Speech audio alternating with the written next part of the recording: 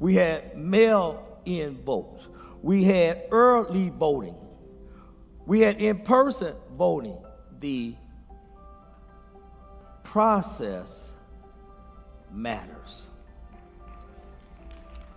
You see, when you don't value processes, you can incorrectly declare the end too soon.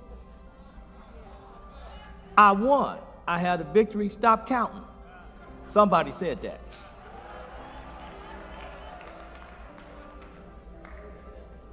And in actuality, he valued the process. We know that because he knew you keep counting, you're going to lose. But when you don't take processes seriously, then you can end up making determinations that don't hold up over time. Some people don't like processes. It takes time, patience, visions to understand how each step is important to achieving what you want to achieve. This is an egg.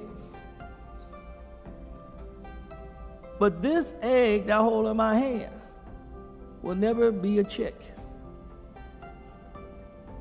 And the reason for it is the process was halted.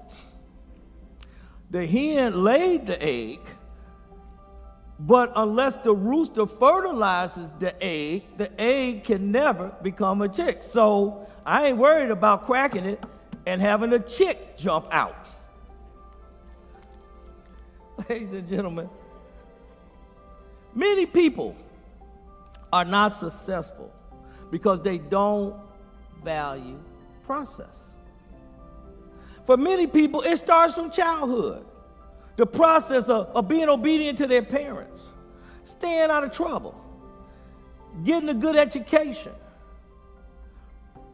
moves into adulthood, raising children properly, making good career and relational choices.